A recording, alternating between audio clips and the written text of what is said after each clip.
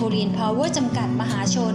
พลังงานทดแทนสะอาดและสีเขียว Green and Green Renewable Energy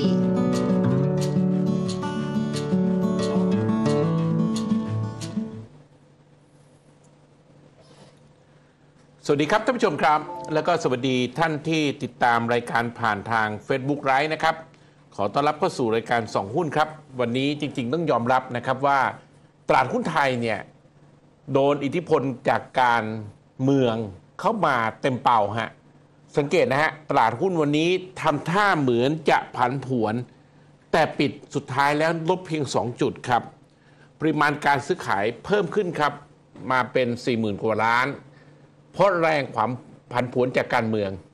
ตอนนี้ทุกคนกำลังดูอยู่2อสาเรื่องครับหนึ่งฟอร์มรัฐบาลได้หรือไม่จะฟอร์มเมื่อไหร่ ยืดเยื้อไม่ยืดเยื้อนะครับ จะเบ็ดเสด็จขาดหรือเปล่า คือต้องต้องเล่าให้ท่านนักลงทุนฟังว่าตลาดหุ้นเนี่ยไม่ได้เชียร์ฝ่ายใดฝ่ายหนึ่งนะครับ แต่เขาจะดูว่ามันจะมีปัญหาอะไรไหมเบ็ดเสด็จขาดไหม ผมยกตัวอย่างเช่น สมมติฟอร์มรัฐบาลได้ 260 ต่อ 240 หลายคนก็กังวลนะครับหรือฟอร์มรัฐบาลได้ 255 ต่อ 240 กว่า แต่ฝ่ายที่น้อยกว่า เชื่อกันว่ามีแรงผลักดันหรือมีส่วนร่วมจากสว ตลาดหุ้นก็กังวลนะครับ เพราะฉะนั้นเพราะฉะนั้นตัวแปรตอนนี้เนี่ยมันอยู่ที่ว่าฟอร์มแล้วเป็นยังไง หรือยืดเยื้อจริง ๆ ตลาดหุ้นก็ไม่ค่อยชอบครับนะครับ วันนี้มันมีปรากฏการณ์ตอนประมาณใกล้ๆ11โมงครับ ก็พักเพื่อไทยอนาคตใหม่และร่วมกับอีกทั้งหมด รวมกันเป็น 6 พัก จริง ๆ ข่าวมาตอนแรกคือ 7 พักนะฮะ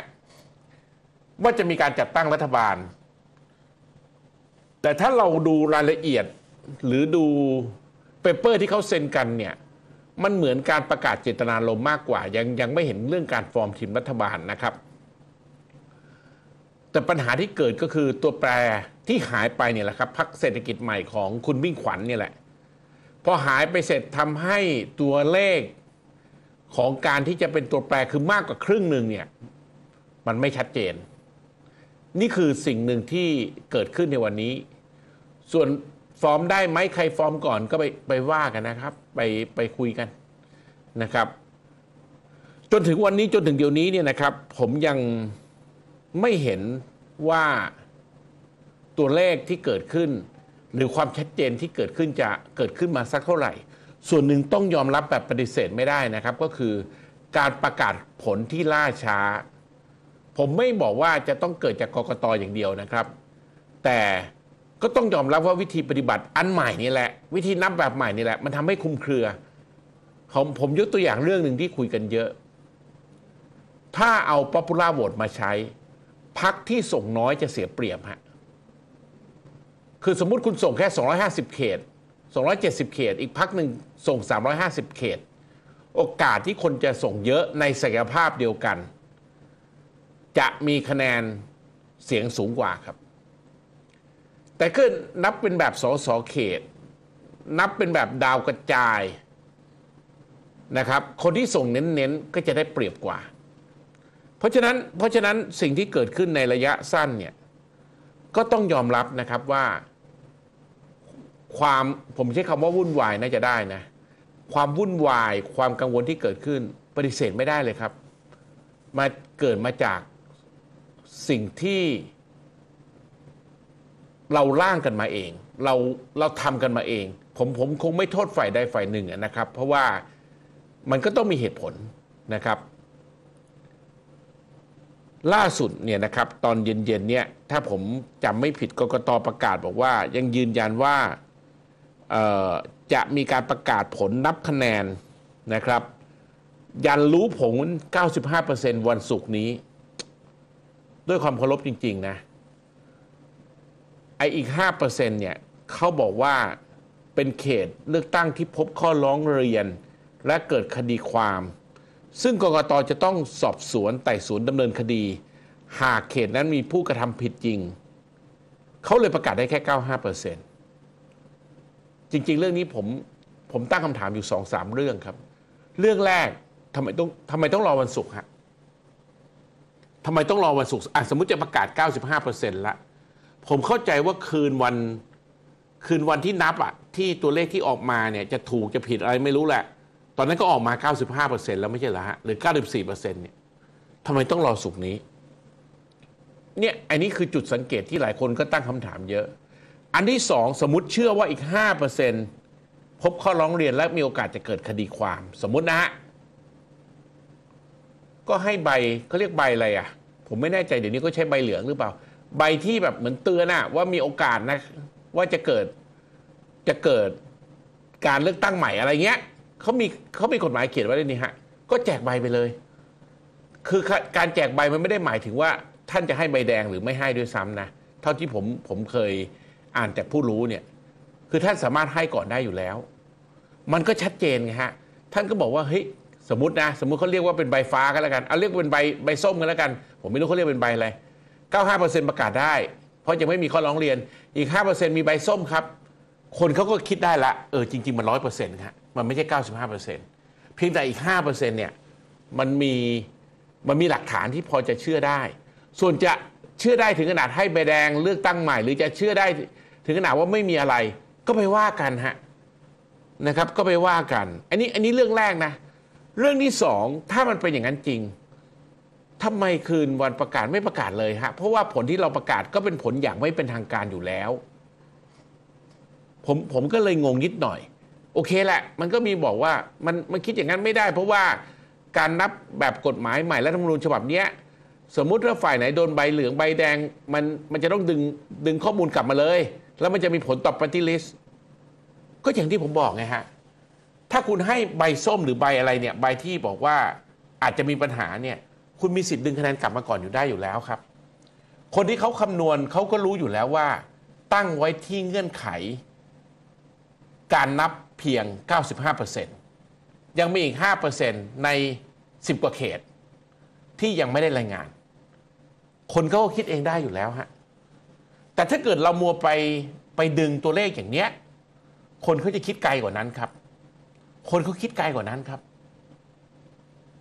คนก็ไม่สนหรอกว่ามันจะมีแฮกเกอร์จะมีอะไรก็แล้วแต่แฮกแฮกเกอร์ที่ยิ่งไม่อยากจะพูดเลยครับ พูดเรื่องนี้แล้วเดี๋ยวเดี๋ยวยาว แต่คนมันคิดไกลกว่านั้น พอคิดไกลกว่านั้นทั้งฝ่ายที่ได้เปรียบกับฝ่ายที่เสียเปรียบเนี่ยจะไม่มีใครเป็นเพื่อนกกตเลยครับ ทุกคนเขาก็จะมองไปที่ความผิดนี้ไปที่กกตอย่างเดียว นี่คือผมคิดว่ามันมันแปลกจริง ๆ ว่าทำไมทำไม ทำไมปล่อยให้เกิดเหตุการณ์นี้ได้ ส่วนไอ้เรื่องของกติกาใหม่ทำให้มีการรายงานอย่างเป็นทางการอันนี้เขาเคลียร์ฮะเขาเข้าใจเขาเข้าใจ การที่รายงานยังไม่ครบคุณยังนับตัวเลขปาร์ตี้ลิสต์อย่างเป็นทางการไม่ได้ เพราะมันมีคะแนนเสียงที่ยังไม่มาผสม อันนี้เขาเข้าใจฮะผมว่าคนทั่วไปเข้าใจนะ แต่ที่เขาไม่เข้าใจว่าทำไมการประกาศผลอย่างไม่เป็นทางการ มันยังไม่ประกาศผล อันนี้ที่เขาไม่เข้าใจ หรือที่ไม่เข้าใจเนี่ยอย่างวันศุกร์เนี้ยจะประกาศเพียง 95%ทำไมอีก 5%ไม่ไม่แบบเหมือน เหมือนเอาหลักฐานเลย บอกที่ไม่ประกาศเพราะอย่างนี้ อะไรอย่างเงี้ย ผมว่ามันมันมีหลายเรื่องนะที่คนเขาถามเยอะ ไอ้ทั้งหมดที่ผมเล่าเนี่ย มันก็เลยเป็นความหมายว่ามันยังไม่เสด็จน้ำเรื่องของการเมืองนะครับ แล้วก็คิดว่าเมื่อไหร่ที่เสด็จน้ำเนี่ย ตลาดหุ้นก็น่าจะตอบรับแหละครับ ถามหลาย ๆ มุมมุมของคนที่เขาเชี่ยวชาญการเมือง เขาบอกว่ากว่าจะเสด็จน้ำนู่นแหละครับ หลังสงการเร็วสุดหรือเผลอๆต้นพฤษภา แต่ดูจากตลาดหุ้น ดูจากเทคนิคดูจากกราฟเนี่ยแม่ผมว่ามันน่าจะอยู่ภายในต้นเมษานะ ไม่น่าจะเกินจากนั้น ไม่รู้นะ ลองดูต่อไป เอาละครับท่านผู้ชมครับ มาดูตัวเลขการลงทุนของวันนี้ครับเซ็นดิเด็กวันนี้ปรับตัวลดลงเล็กน้อยครับ 2.92 จุด 1,629.40 ปริมาณการซื้อขาย 41,225 ล้านสิบอันดับที่มีการซื้อขายสูงสุด อันดับ 1ปตทลงไป 50 ตังค์อันดับ 2 CPO บวกไป25สตางค์อันดับ 3 BDMs ครับ ลงมา 20สตางค์อันดับ 4 PTTGC ลงไป 25สตางค์อันดับ 5ปตท.สผ. บวกไป 50 ตังค์ อันดับ 6 AOT ครับลงไป 25 สตางค์อันดับ 7กัลฟ์บวกไปบาท 75 อันดับ 8 สเตคอนลงไป 30สตางค์อันดับ 9 ปูนซิเมนต์ไทยไม่เปลี่ยนแปลง อันดับ 10 ไทยพาณิชย์ลงไป 50 ตังค์ครับ